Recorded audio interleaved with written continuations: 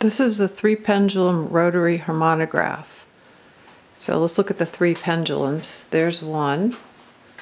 It goes straight down like that. And then there's a similar one on this side. And these pendulums just go back and forth like this. That's how they swing. Right, so they just go back and forth. The third pendulum is this in the middle. It has a table on the top of it. And there's the gimbal mechanism that allows it to go in any direction. So you can see down there the pendulum's going in a circle. Now the side pendulums are connected together right here. I'm going to stop the middle like that so you can see. All right, so they're connected here and this is a, a flexible joint. The rubber band is flexible so they're held together but very loosely so they can they can move around. And then of course one of them has a pen holder on it. So it's the combined motion of the two lateral pendulums and the circular one. Those motions combined will be recorded by the pen. So let's give the rotary some energy. Start a side pendulum. And then we'll let the pen down. I just pull this out and let the pen go down. We'll see what it draws.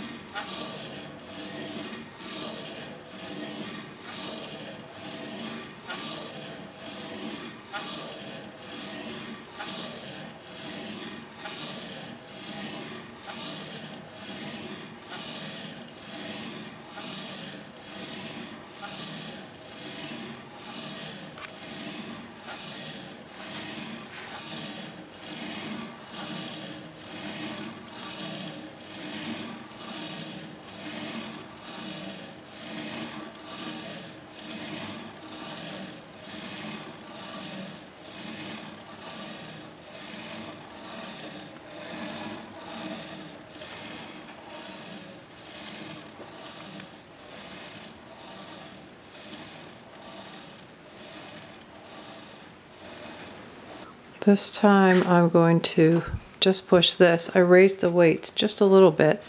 I'm going to use the side pendulum and then we'll give this one also a little bit of a push.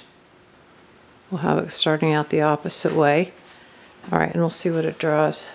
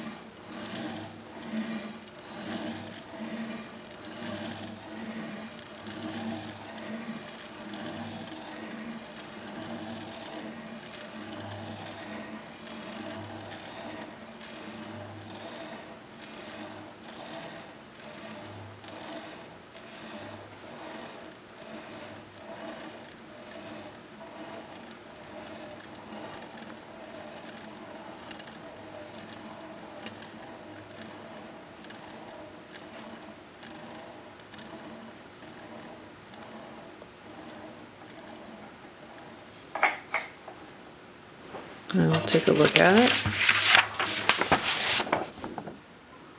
There we go. Now we'll do one where we add this pendulum going around. And we'll make this pendulum swing. And we'll go over here and make this pendulum swing as well.